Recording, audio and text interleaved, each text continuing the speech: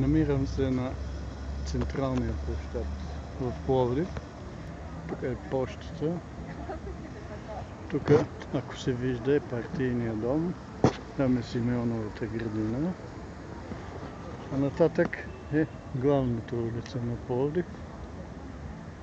А, аз седнах тук да си почина, пък и да се успокоя малко, защото се развълнувах. Бях ето там в партийния дом. А кой съм аз? Ето на мене. Не да видим. Няма да стане. Да. Ето на мене. Аз съм Ангел Гринчаров и а, решавам да кажа няколко думи, докато емоцията ми още не е отминала. Ето там на петия етаж бях в а, кабинета на господин Чернаев. А, Атанас Чернаев, а, директор на дирекция Инспекция на труда в Пловдив. Имах приемен час за 3 часа.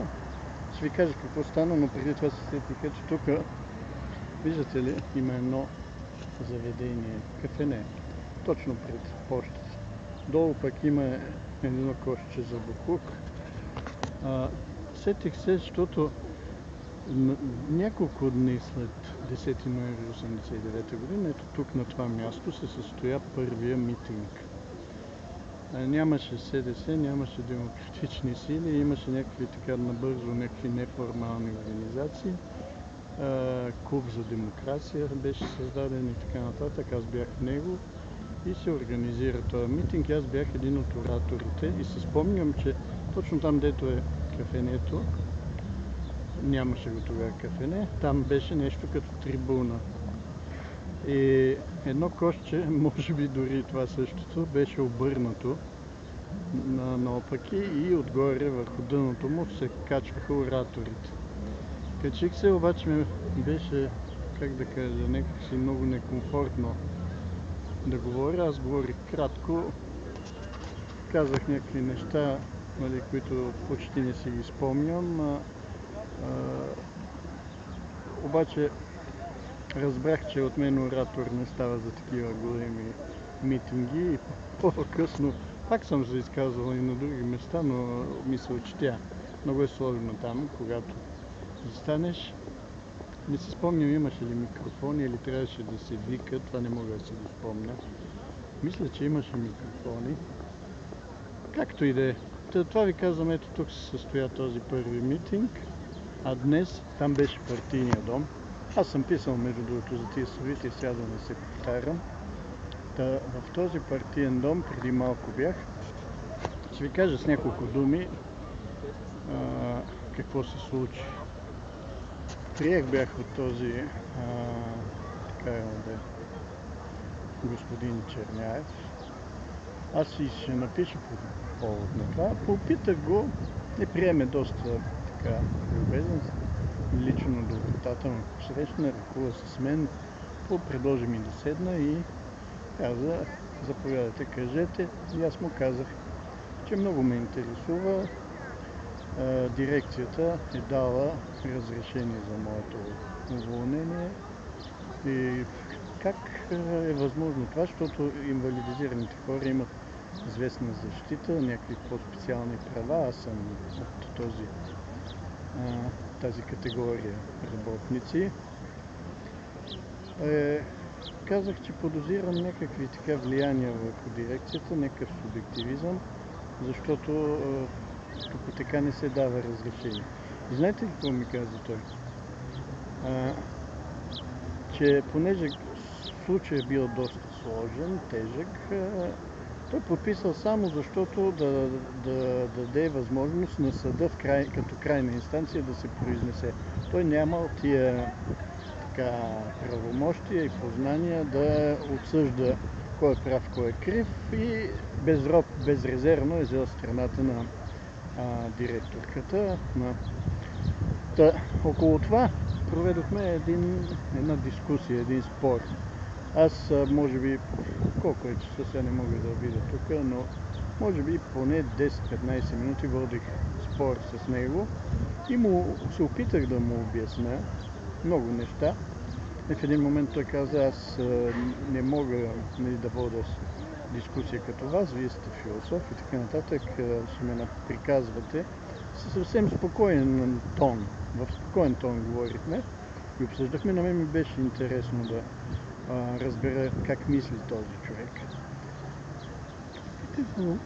Така, вие не се ли запитахте, че е възможно Нали, тя му била представила огромна папка с доклади, жалби, докладни, не знам какво, констативни протоколи, нали, по нейния си маниер, за да докаже нещо, което всъщност е недоказуемо. Аз му казах, вие как мислите, може ли един човек да работи а, 30 години на работа и да го изкарат в крайна сметка абсолютен некадърник, неспособен, да се изпълнява служебните задължения и да го уволнят, да го изхвърлят като мръсно кот. Той каза, доста така неубедително наистина говореше. Много му се видя а, темата така сложна. А, беше се опитал, нали, но а, всичко прозвуча крайно неубедително в моите а, уши. Та, викам, а, има втора страна всяко нещо. Всяка монета си има две страни и така нататък. Вие не, не се ли запитахте как е възможно нали, такъв начин да се отнасят към един друг човек, който все пак като инвалид би трябвало към него да се отнасят с, с някакви по-специални грижи, а не да го изхвърлят така безчовечно на улицата да го обявят за некадърник и така нататък. Та, как да ви кажа, а, имах чувството, че не можахме да намерим някакъв общ език. Крайна сметка, е, той ме пак съветва, вие си, разбира се, си търсете правата в съда, съдът ще ви.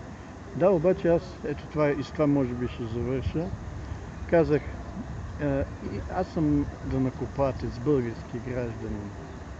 И а, тези институции, които съществуват държавни, като вашата инспекция, би трябвало да обслужват гражданите и а, да, така да се стараят да работят за, за тяхното благо. В случая се оказва, че всички институции, с които аз а, ми се наложи тук последните две години да общувам, да вода преписка, да отпращам жалби, доклади и така нататък. Всички институции, Министерството на образованието с инспекторат и така нататък. А, ето инспекция по труда. В самото училище директорката е също администрация, макар и на най-низко ниво. А абсолютно всички тези служби са се отчуждили от интересите на гражданите, от интересите на тези, които чието интереси те трябва да обслужват и съществуват, тяхното оправданието за тяхното съществуване е това. Да работят за благото, за доброто на работниците, на гражданите и така нататък. А ето, оказва се, че тази администрация на различни институции, на различни нива, сякаш се е отчуждила до така степен от интересите на гражданите, от друга страна се чувства пълновластна да си прави каквото си иска и да си защищава своя користен интерес, сякаш се е превърнала в нещо като класа, господстваща класа, близка до власт имеющите, която изобщо не се съобразява с интересите на гражданите, на другите хора, които не са. Ето как той е подписал без да се замисля и по този начин е санкционирал нещо неправомерно, а именно и безчовечно в крайна сметка уволнението на един служител, който много години е работил в тази сфера и в крайна сметка за благодарност, и просто защото не е угодничал пред една самозабравила се администраторка, беше подложен на такава, такава репресия, на такава дискриминация. Дискриминация всеки, във всеки един смисъл.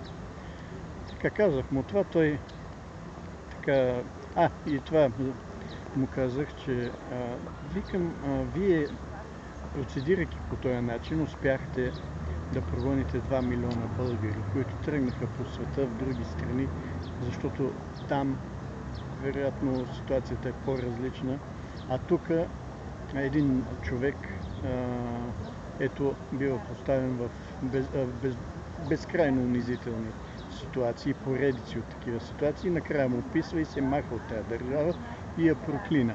Вие а, би трябвало да имате, да дойде момент да осъзнаете вината си в тази посока. Говоря за бюрокрацията, администрацията, която обслужва безропотно интересите на властващите и така нататък.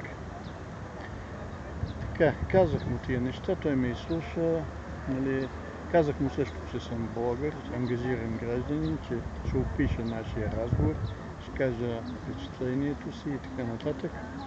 И а, ще взема твърда позиция, защото а, все пак като данъкоплатец аз съм и работодател на цялата тая администрация имам правото да изисквам от тях да работят в интерес на гражданите, а не в свой собствен интерес.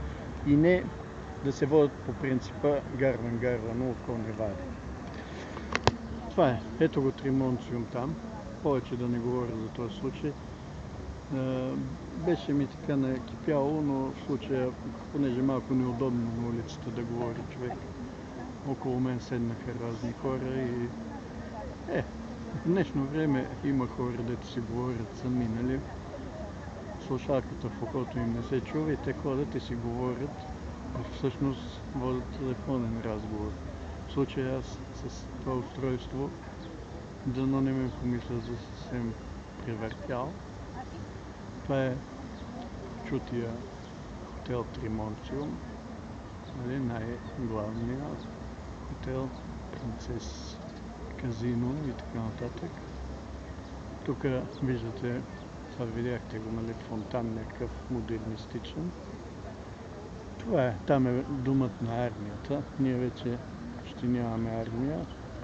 Миролюбива страна сме станали. Това не е лошо. Както и да е. Това е Пловдив, 4 часа някъде след обед. Днеска е вторник. И аз ви давам така една картина от града. Ето тук е Симеоновата градина. Тя е реконструкция сега. Разораха я, сякаш диви свине са.